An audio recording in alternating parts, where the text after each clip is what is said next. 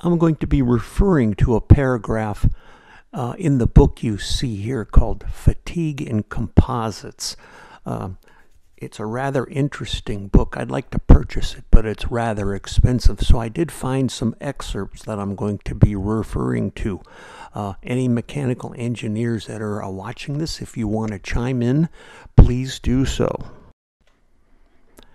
Uh, here's a, uh, a chapter or a paragraph uh, under fatigue and durability of marine composites. Uh, fatigue is an engineering term that uh, means failure. Uh, what they're saying here that I have highlighted uh, in in yellow, it says uh, basically composite cylinders tested to failure under hydrostatic pressure. Hydrostatic is water pertaining to water and static pressure. It says fail by one of two mechanisms buckling or compressive material failure. It says the former has received considerable study as thin walled cylinders are used in many applications apart from deep sea vessels. So that means there's been a lot of study uh, in thin wall materials, but not a heck of a lot of study uh, in deep sea vessels. Uh, thin wall materials, uh, five inches thick, I'm assuming, is not a thin wall uh, vessel. So um, it says uh, designers are generally happier with designing for buckling than for material failure. Now, um, there is a ratio they talk about here. Uh, it's the ratio of the thickness uh, of the material to the diameter of the vessel.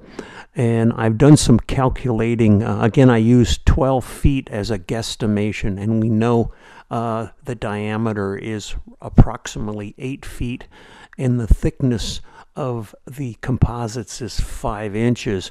So they're saying here in another paragraph, um, or another, the bottom of this paragraph, that uh, if your thickness to diameter ratio increases above, above 0.1, um, it says material, material failure under biaxial compression. That means biaxial is more than one axis, uh, becomes more likely. But I did some calculating and I my ratio is 0.05. So that wouldn't apply so much to uh, the Titan sub, but it does say down here, um, it says, it says their predictions of failure were very sensitive to the input ply compression strength. So again, and remember what I said earlier, um, your compression of your different plies is very critical here. So um, in the case of a a ratio here of uh, a, thickness to diameter ratio is above 0.1, we would then have, uh, again, uh, we would have to be very sensitive to the input ply compression strength. Uh, but I think that's going to uh, possibly affect uh, what happened to the sub for a different reason, or the submersible to a different reason, which we'll get into here. here we're sitting on the Wikipedia page for uh, the engineering uh, definition of deformation. Um, I'm going to try to um, put uh, a lot of this in layman's terms. I might even oversimplify it just a bit. So again, uh, it may not be exact, but I'm going to try to get this as close as I can. Again, any, any engineers out there, mechanical engineers, please correct me if I'm wrong. So there, I'm sure everyone has heard of stress and strain. These are actually engineering terms. Uh, stress is defined as a force that is applied to a particular object. So, in the case of the uh, the Titan submersible, uh, when it goes underwater, the deeper it goes, the more stress is applied to the, the pressure vessel of the sub. Now, strain is the resulting deformation or deflection as a result of the stress. So, as that sub or submersible goes deeper, uh, it's going to have more stress, and as a result, it's going to have more deformation on its surface. Okay, now, as you go up and down in that sub repeatedly, uh, you're again those stresses and strains are going to be uh, applied and then backed off as you then come back up to the surface. And as you do that, apply those stress and strains, the deformation in that material repeatedly. It breaks down uh, that material, uh, in this case, the uh, carbon fiber and titanium uh, portions of the pressure vessel. Now, there's different types of deformation. There's a elastic deformation. And what that says, and I'll paraphrase it here for you, is elastic deformation is when you apply the pressure uh, and then you get a resultant deformation in the material, and in this case, the titanium and the carbon fiber. When you pull that pressure away or decrease that pressure, the deformation then recovers and comes back uh, and it there is no long lasting or deformation that stays. So as long as you stay within the the limitations of of that material, you can apply elastic deformation over and over without getting any uh, permanent deformation. But again, if you repeatedly dive the submarine and then surface again, you're cycling those stresses and strains over and over again, which ultimately will weaken uh, the material. Now, there's something, if you go beyond a particular stress, uh, and you, you get into a higher deformation. Uh, this is called plastic deformation. What happens is when you apply the stress in this particular case, you're, you're applying it uh, more than in the uh, the elastic deformation. What happens here is you apply a greater stress, the deformation occurs, but when you back off that stress, the deformation does not recover. So, in other words, you are stretching that material, which it's, it's referred to as a necking phase, and it does not recover uh, from that uh, deformation. Uh, and if that occurs, it then weakens the structure. So as you then come back, let's say do more and more dives, uh, it ultimately leads, if you keep on uh, getting into the plastic deformation, uh, what ultimately happens is you get a fracture. And a fracture is an engineering definition, it's irreversible. Basically, you get a failure in the material.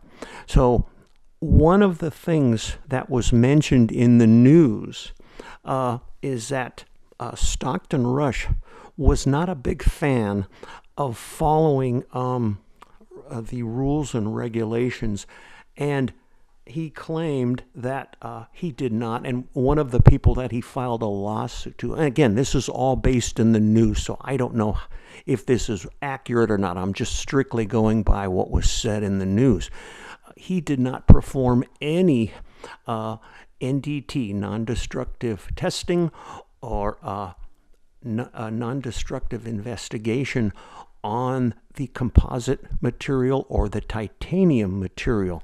Uh, and if he would have, and again, uh, in, in listening to the news, they interviewed um, an engineer at a composites company. They basically said, to perform an ultrasonic inspection on a pressure vessel of that size would be about $20,000. And uh, again, uh, it would make uh, very wise sense to perform this type of inspection after every single dive. Uh, because again, you're by repeatedly diving and resurfacing, you're you're repeating the stress and strain cycle, which ultimately over time is going to weaken uh, the structure of the pressure vessel, and ultimately, if you don't catch it in time, uh, lead to uh, a permanent defor- deformation, which would then lead to a fracture.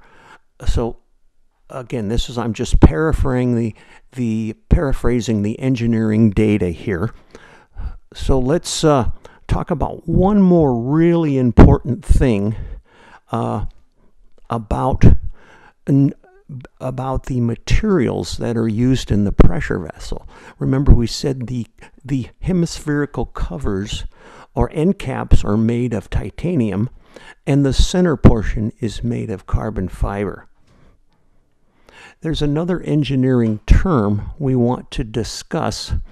Um, this is a mechanical property called Young's modulus. And again, I'm going to paraphrase uh, what this is. We don't need to get into real scientific of it. We're just going to explain it. It's ba basically a mechanical property that measures the tensile or compressive stiffness of a solid material when the force is applied lengthwise.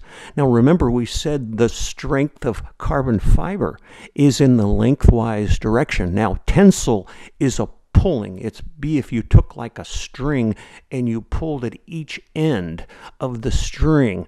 If you pulled hard enough, the string would snap. Uh, that is a, a tensile uh, measurement of tensile stiffness.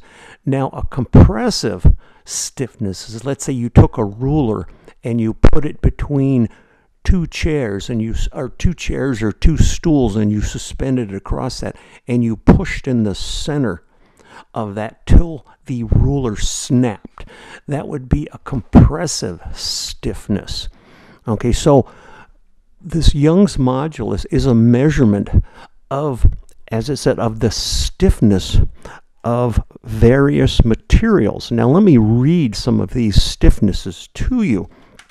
To put it in perspective, uh, let's take a look at aluminum or aluminium if you're uh, in the UK.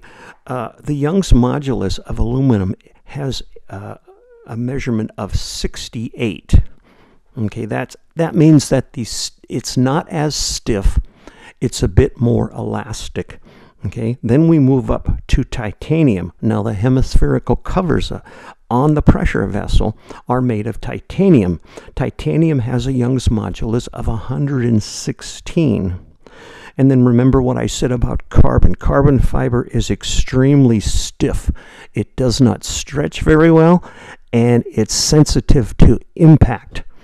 Okay, so carbon fiber has a Young's modulus of 181. So after simplifying some of the engineering principles, let's take a look at a couple scenarios that could have happened. Um, James Cameron came out and made a statement here recently that more than likely the sub made it to the bottom. Uh, their acoustic warning system uh, went off. They dropped their weights and they started to ascend back up to the surface. Uh, at that point, um, an implosion occurred. Now, again, we don't know if this is what really happens. It's just conjecture, but uh, I would imagine that that's a, a pretty pretty good idea of, of what happened. Um, Stockton Rush indicated that he did have this acoustic warning uh, system that would uh, raise an alarm uh, when there was any kind of uh, fracturing occurring or any type of uh, weakening occurring in the carbon fiber. Uh, but as we've already discussed, when carbon fiber fails, it just doesn't slowly crack uh, it fails explosively. Now, looking at, uh, we have the titanium hemispheres here, and we have flanges uh, that were uh, glued with uh, an epoxy adhesive more than likely. Again, we don't know what that adhesive was. Uh, I've seen some video of them applying the adhesive to the titanium and the carbon fiber. Uh, it was rather thick, but most uh, epoxy adhesives are rather thick. So looking at the, the engineering information on Young's modulus of titanium, which again is around 116. Carbon fiber having a Young's modulus of 181. So carbon fiber is very stiff. It doesn't stretch, uh, it doesn't give. Uh, but yet titanium uh, is a, a little bit more elastic uh, than carbon fiber. And again, with the repeated stresses and, and strains of those earlier dives, more than likely what could have happened is the epoxy adhesive uh, could have weakened. Again, titanium is going to be a bit more elastic, so it's going to expand and contract with depth a little bit more than uh, the carbon fiber. So, if you will, that repeated uh, stress and strain could theoretically have weakened the epoxy bond between the the titanium flange and the carbon fiber, which could then, of course, ruptured at that depth. Again, we're talking a tremendous amount of pressure.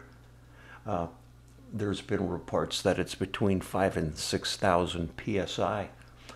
Another possible scenario is there could have been some weaknesses or voids in the carbon fiber, or due to the repeated stressing and straining, uh, it weakened some areas in the carbon fiber, uh, and the carbon fiber could have buckled.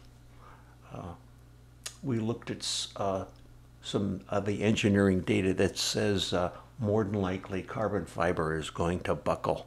So we have two possible scenarios here.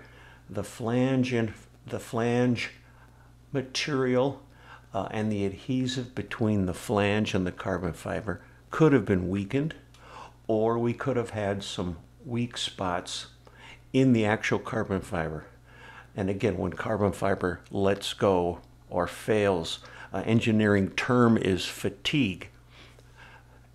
It could have been almost immediate and quite disastrous. So that's sort of some theory based on uh, what we've looked at already. Um, I've heard that today they've uh, recovered some of the pieces um, of the pressure vessel, the titanium hem- hemispheres. So I'm assuming uh, they're going to do some engineering analysis on that and hopefully will report to the media uh, what they found. Uh, I hope you have enjoyed this information. And uh, again, this is sort of some theories that I put together and some theories of what I found by listening to some uh, engineering firms uh, out in the media. Again, the one individual uh, said that uh, engineering firm said that in order to perform a ultrasonic inspection on a, a vessel of this size would be around $20,000. And I would definitely recommend that this type of inspection, uh, again, an NDT, uh, non destructive testing or non destructive investigation be performed after every dive. Uh, Stockton Rush felt he didn't need that type of testing, uh, and I think that was a, a failure on his part, uh, depending uh, on his acoustic system, which uh, would not give him enough warning in time due to what we've seen on how carbon fiber fractures and fails. So I hope you enjoyed this video and we'll see you next time.